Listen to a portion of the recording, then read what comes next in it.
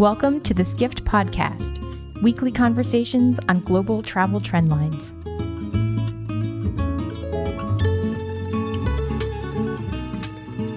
Anyone who works in the travel industry knows that travel isn't immune from tragedy.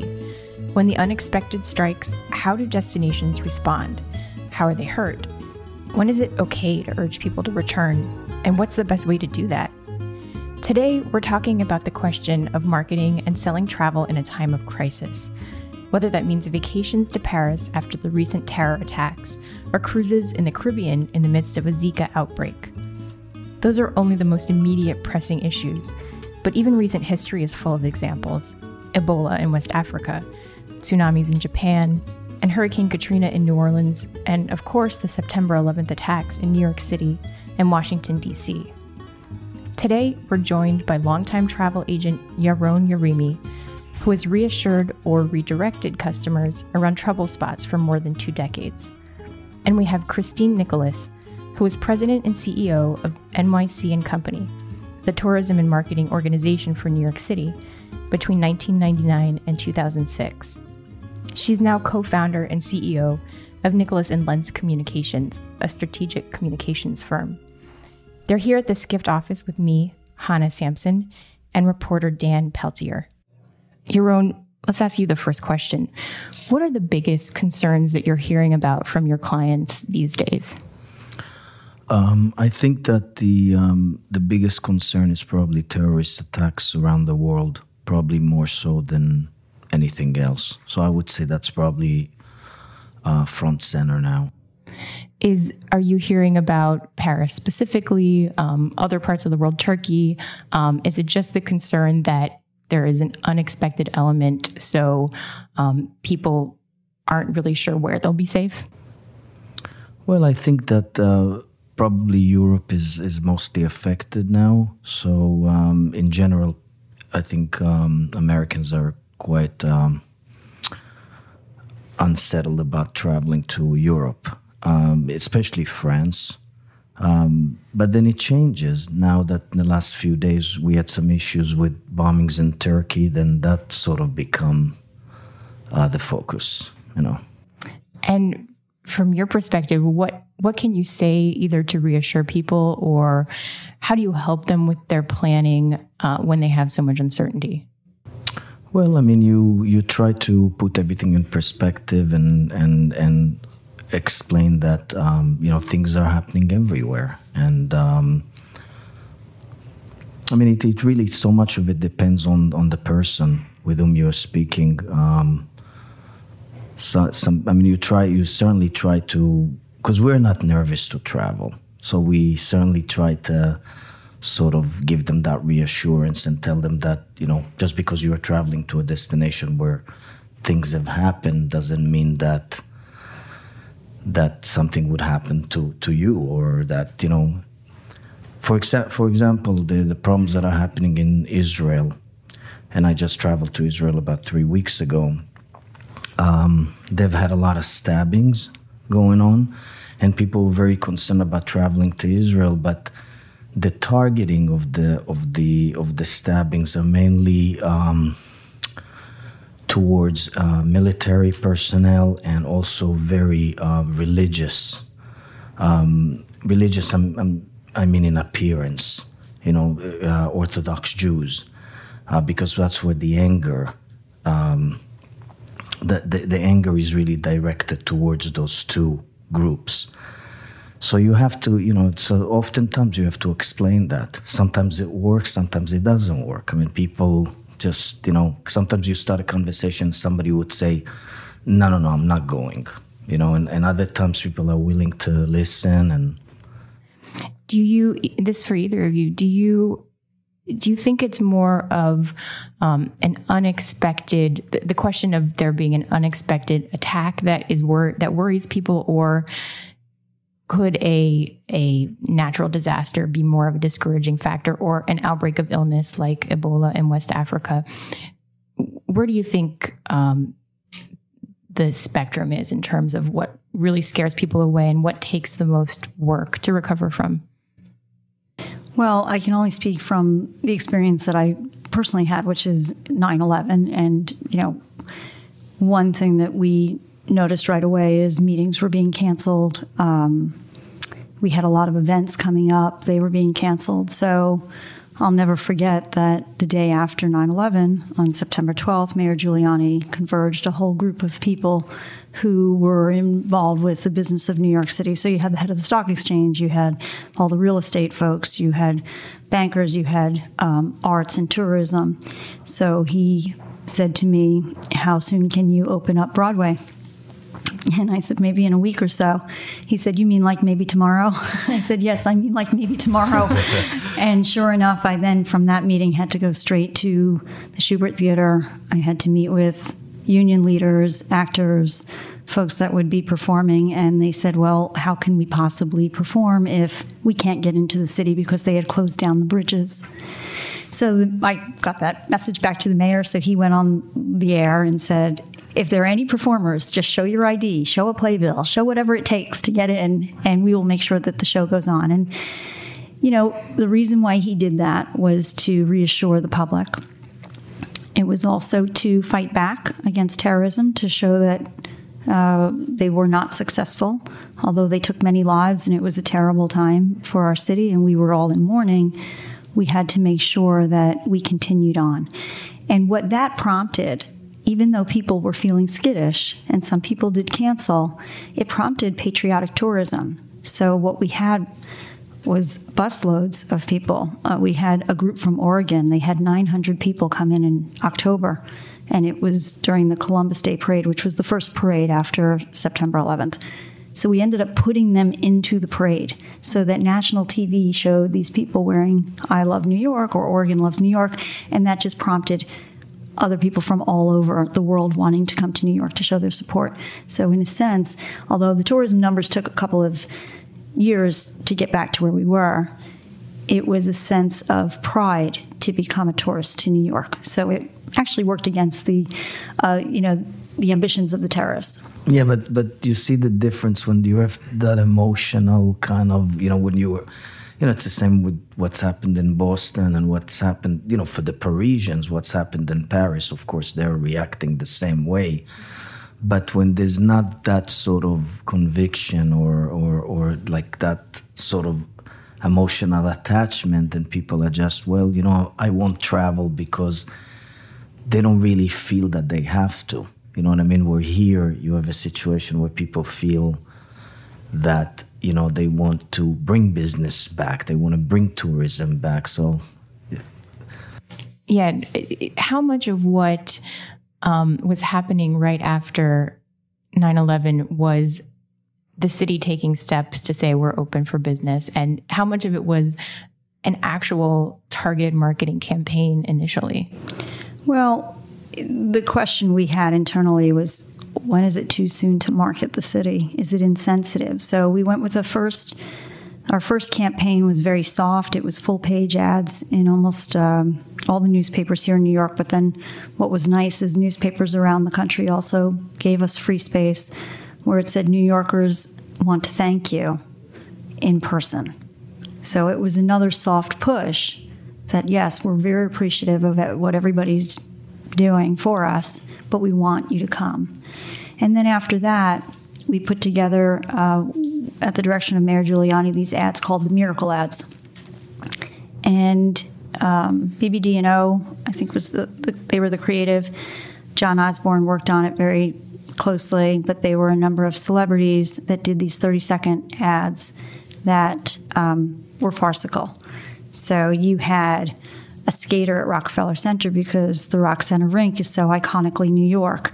And he's wearing khakis and a jacket, so you can't really tell who it is. And he's doing these triple axels. And, and then when it did the pan, the close up, it was Woody Allen you know, and it said, "Hey, I have a dream," you know, and and then the other one was somebody running the bases at Yankee Stadium in a suit, and he slides into home, and then he lifts his face up and it's Henry Kissinger. You know, so hmm. it was very funny, you know, and it was time to laugh. Mayor Giuliani also went on Saturday Night Live because we know what kind of power that has. And it was a somber start. He had all the firefighters and police officers with him. But, and Lorne Michaels said, uh, Mayor, is it okay for us to laugh? Is it okay for us to, t- you know, be funny again? And he said, Lorne, you haven't been funny for 20 years. Why start now? you know, so. You kind of touched on something um, a few seconds ago. You know, how soon do you feel comfortable um, encouraging people to return to a destination? Um, is there is there a proper amount of time that you can wait? Is there like a one size fits all solution or does it vary? And something that I'm thinking unrelated to 9 11 that you were just talking about, um, I'm thinking back to a year ago with the Ebola crisis in West Africa. I um, had covered Brussels Airlines. Um, they did a launched a big, huge marketing campaign because um, they service several of the destinations that were impacted as well as the broader African continent um, basically saying, you know, their tagline was Africa is not Ebola. Um, so they were really rallying behind this idea that, um, you know, we still service dozens of other cities on this continent that are hundreds, thousands of miles away. Um, and then you also saw South Africa tourism and Kenya tourism that were further away from the epidemic area than, say, Miami, Florida, which was um, further away. Um, so just just thinking of that in mind, and then even with um, Paris that just happened um, a few months ago, um, I haven't seen many brands come back and, and start encouraging. Maybe that's because Paris is a different caliber, of course, of a destination than West Africa or even South Africa. So that was just an observation I made, but I'm interested to hear um, your thoughts on I, I, don't think it's one size fits all. I think it's a case by case basis. And if there is a serious crisis that is impacting public health, I think you have to look towards the experts to really give you the definitive answer of when it is safe. And if the U.S. government is also putting a country on a restricted travel list, um, I'm not a travel agent, but I'm, I think as a PR representative, I would have a hard time, you know, promoting that when we know for sure that there is danger there. I will give you a, a different example, though, which was when the BP oil spill happened in the South Coast region of the U.S. We represented those four states and uh, about 14 beach communities along there, and you know, there were pictures of, uh, you know selected photos of some oil spillage. But when you looked out, the vast beaches were clean. They were white sand beaches. They were gorgeous, and this was really in a contained area, and you were able to, you know, see where the oil was. We gave it a couple of, uh, unlike 9/11, we did have to give it a couple of weeks in order to get the permission for people to go swimming again, but we did promote the area that there's more than just the beach. And then what was terrific is when it was safe and the waters were clean, and it was only a matter of weeks, Jimmy Buffett did a free live concert, which was aired on Country Music Channel and a number of other stations, that was right on the beach. It showed that it was clean. They showed people swimming, and their tourism now is much higher than it has ever been historically. I think because of the outreach and the push. Yaron, from a travel agent perspective, um, do you like at what point do you feel comfortable telling someone, no, you know, Brussels, Brussels should be okay, or um, West Africa, you know, Ebola is not um, a crisis anymore, or none of those examples, but any other place that has been a trouble spot. Um, do you go through a certain checklist in your mind, or? Yeah, well, you know, with with with Africa as a as, as a continent, um, you know, I think people make certain associations. You know, they hear that the country in you know a particular country, they don't they don't understand that West Africa is so totally different from South Africa, and we have a lot of ground operators that we work with, and they were really hit so hard by people not going and doing safaris in South Africa because of what's happened in West Africa. And then you have, you know, the whole safari experience in East Africa and Tanzania and Kenya, which was, those were also countries that were not affected. But it's very difficult because, as, as I mentioned before, the same with Morocco. People feel that it's, it's a wonderful country, but people feel because they speak Arabic, because they're Muslim, then right away there's that association with the Middle East. So it's it's it's tough. It's tough, but I mean, we speak with the clients and do our best to to explain that um, you know it's totally safe and. I mean, we really encourage everyone to travel everywhere, unless it's really a situation where you're putting somebody, someone in danger. But that I mean, it hasn't really. I, I can't remember.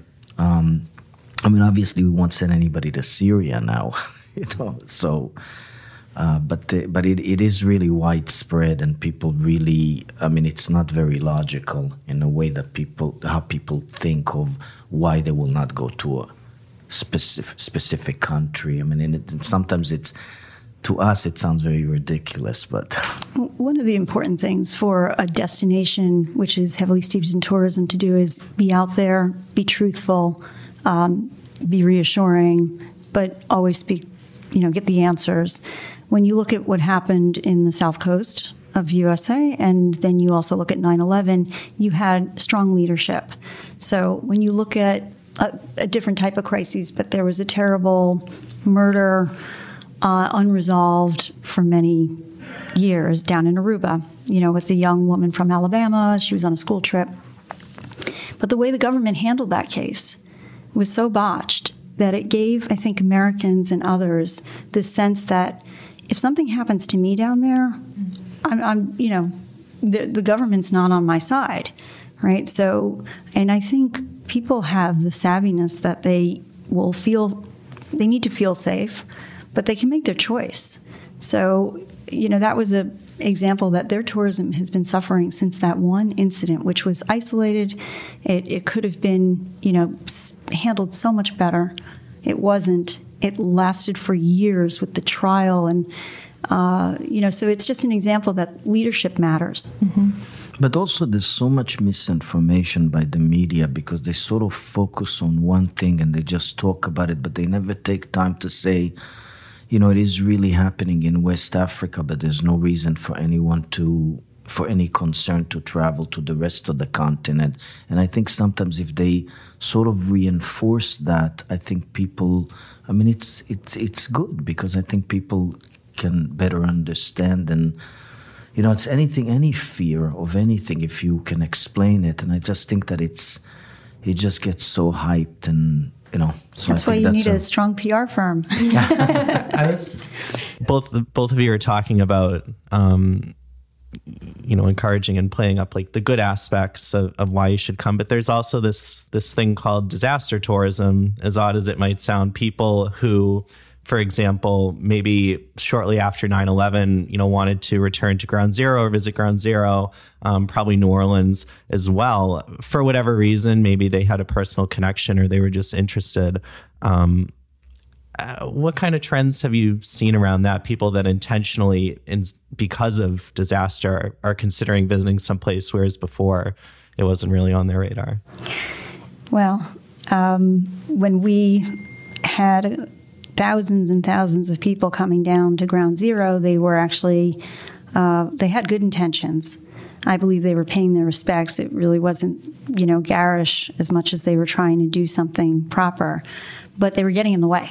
They were getting in the way from the recovery of the remains. They were getting in the way of the construction. So, um, David Rockwell, who's a famous architect here in New York, he came to me when at NYC and Company said, uh, "We have a plan, and we want to build a platform." And it was done tastefully. We didn't get any criticism for it. You know, if anyone had said, "Why are you doing this? Why are you making a platform?" We explained it's really, you know, it's it's a nice way of people to be able to go pay their respects in a dignified fashion, and also keep out of the way. So but you yeah. also see so many people. I mean, you know, with New Orleans, I mean, it's unbelievable how many people are now going, and mm-hmm. I mean, it's it's it's even more popular than it was before. And then people coming to New York always want to, you know, they always ask about going to Ground Zero and visiting the museum, and um, you see that also with Cuba now everybody feels that you know it's it's safe to go and it's i mean it's just it's really incredible how it becomes even more popular when there are changes when when in vietnam as well you know when vietnam opened up for tourism you know yeah. about 10 15 years ago yeah. people really wanted to to go there to see yeah. what it was like for i sure. just went to cuba for the first time you know back in june I went with the New York Cosmos because they were playing against the Cuban national team. And it was right around the time when the president was opening up relations with Cuba again. but there's this sense of urgency to get there before they change everything. Oh, yeah, that's for sure. That's for sure. I, I, I don't sense it's going to change rapidly, but it, it, you know, maybe it should go in the next five years. I don't expect there's going to be a McDonald's there anytime soon, but who knows? Certainly. um, you talked about Jimmy Buffett and um, and the the ads featuring Woody Allen and Henry Kissinger. I know there were um, a couple of big benefit concerts in New York City in 2011 how important are those partnerships or maybe kind of those seals of approval from well-known people in terms of um, getting your message out or swaying public sentiment that might still be on the fence and Yaron i don't know if you've seen um, anything along those lines also for any destinations that that you work with but um, what do you think you know people uh, they trust they're, you know, some celebrities, they want to see where they're going. I mean, when you look at Cuba, as we were discussing, when Jay Z and Beyonce, Beyonce when yeah. they went, uh, that all of a sudden there was a cool factor with going, and everybody wanted to go because they went. Uh, you know, in New York, we're fortunate because we have so many celebrities that live here. Robert De Niro, Ben Stiller, they were all uh, helpful. In fact, we had so many, we, we couldn't fit them all in the ads. But in the case of Africa, perhaps there are some celebrities that do go there, even uh, you know, especially for safari. Perhaps you'd want to enlist them to be spokespersons to really, you know, show by example. It's one thing to say to go. You know, it's easy to do that. You could do that from an armchair in an office, but to get on that plane and go. Um, I, one of the uh, one of the highlights of my career when I was heading up New York City tourism is when um, the Concorde was going back into service after that unfortunate tragedy. They needed folks to go on the plane, you know, that first flight. So they called me, and I said, I always wanted to go on the Concorde. But when I was sitting on the runway and we were taking off, I was thinking, this was crazy. what was I thinking? you know. But then when we were up and at fifty thousand feet, I said, "Wow, this is really cool." And you see yeah. the, when you saw the curvature, the curvature, the air, yeah. But that's incredible. what it took for the Concorde. They had a whole plane full of travel um, spokespersons. You know, people that can really explain. Was that Air France or British Airways? It was British Airways. Air France was the plane that crashed, but right, British Airways Germany. was everything was um, everything was shut down. The Concorde was shut down after yeah. that. Both British Airways and Air France. So. I reckon. Unfortunately, they're no longer running, but it was. Yeah. It was well, cool. they're bringing it back, I think, or, different. Not not the actual Concorde, but another.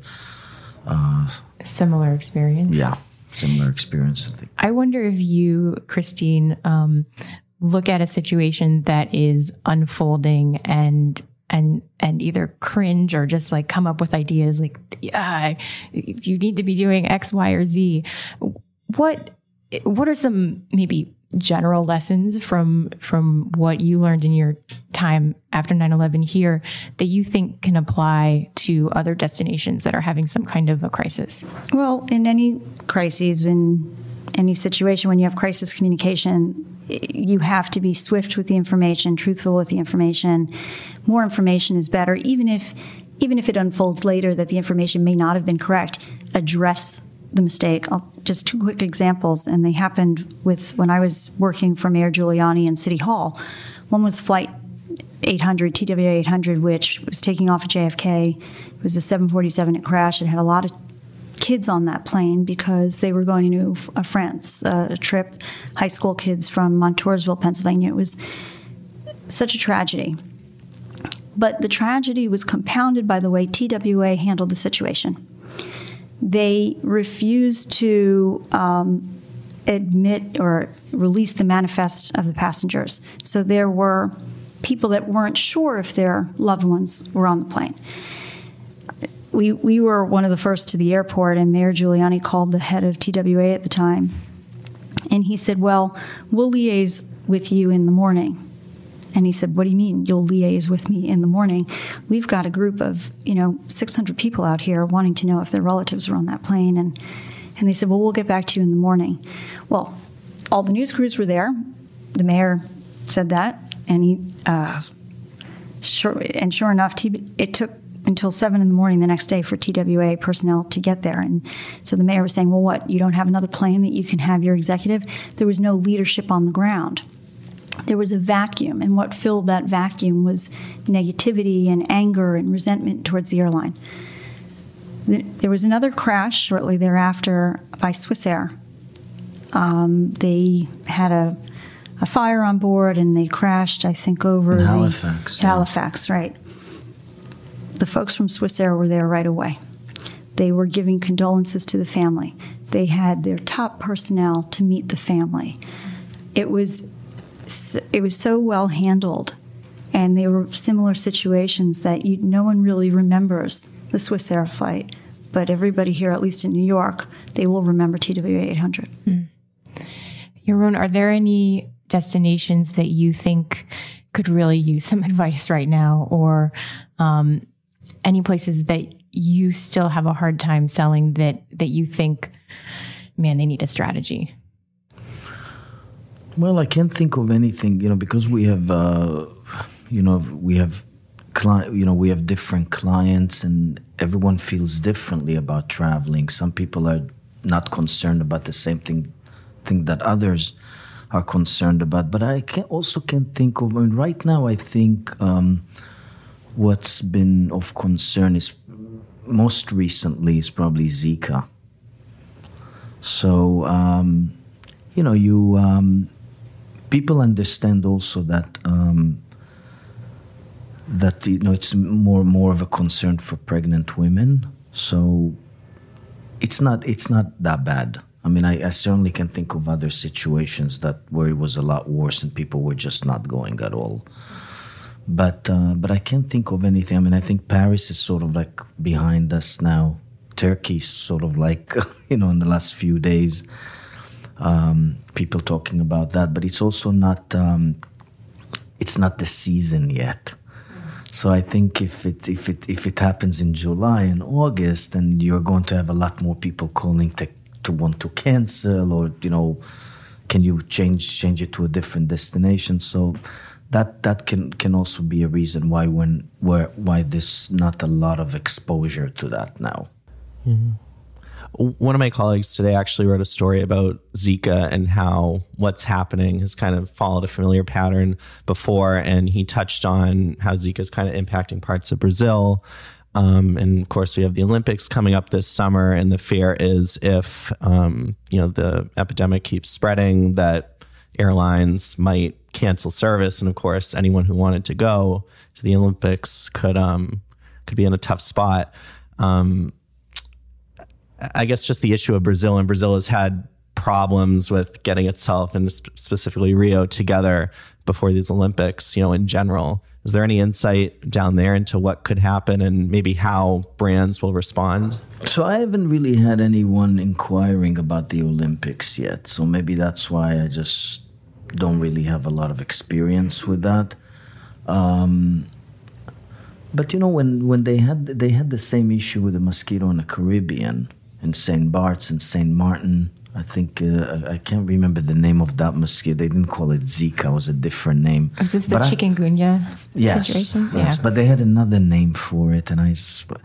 But I traveled and I know a lot of my clients traveled, and then there were, of course, some people that that did not travel. So, and Cristyne, you talked about having information and and and being upfront with information, but with something like Zika, I think there's still a lot of questions. So it's maybe hard to. Maybe the information is, you know, we still have a lot of questions, but here's what we can tell you.